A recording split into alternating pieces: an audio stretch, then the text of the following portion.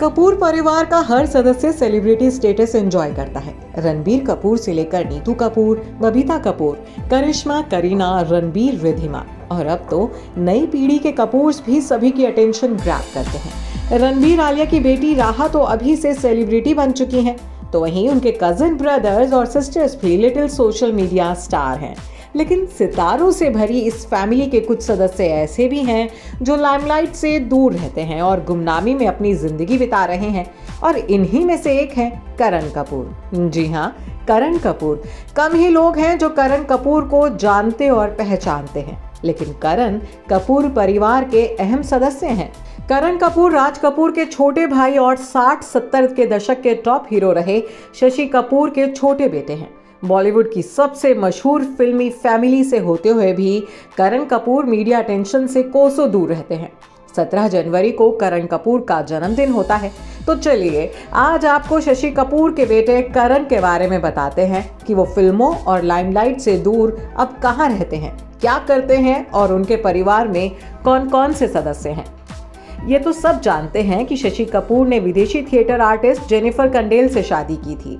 इस शादी से शशि कपूर के तीन बच्चे हुए, कुणाल कपूर, करण कपूर और संजना कपूर।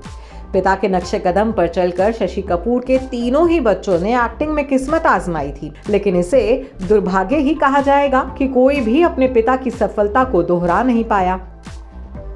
बात करण कपूर की करें तो आज वो एक नामी फोटोग्राफर हैं। लेकिन एक वक्त था जब करण ने फ़िल्मों में नाम कमाने के लिए कड़ी मशक्कत की थी।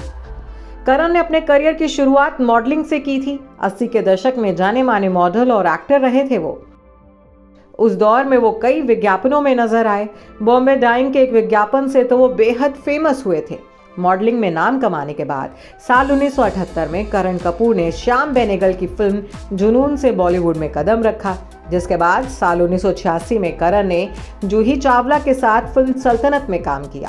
फ़िल्म सल्तनत के ज़रिए करण कपूर ने मेन स्ट्रीम सिनेमा में एंट्री की, लेकिन ये फ़िल्म बुरी तरह से फ्लॉप रही। इसके बाद उन्होंने लोहा, जलजला और छत्तीस चौरंगी लेन जैसी फ़िल्मों में भी काम किया। लेकिन करण का यूरोपियन लुक उनकी सफलता के आड़े आ गया। अपनी विदेशी लुक्स की वजह से करण हिंदी फ़िल्मों में हीरो नहीं बन पाए।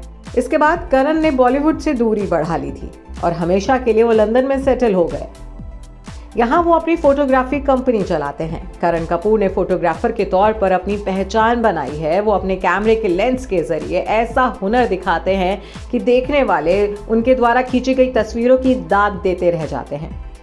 करण कपूर की फैमिली लाइफ की बात करें तो पिता की तरह ही करण ने भी अपने लिए विदेशी जीवन साथी को चुना। उन्होंने विदेशी मॉडल लॉर्ना टार्लिंग से शादी की है।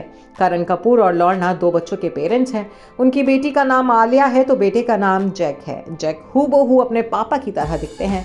तो वहीं आलिया खूबसूरती के मामले में अपनी कज़न सिस्टर्स को भी मात देती हैं। आलिया को विदेशी लुक्स अपने पिता और माँ से विरासत में मिले हैं। Bureau report E twenty four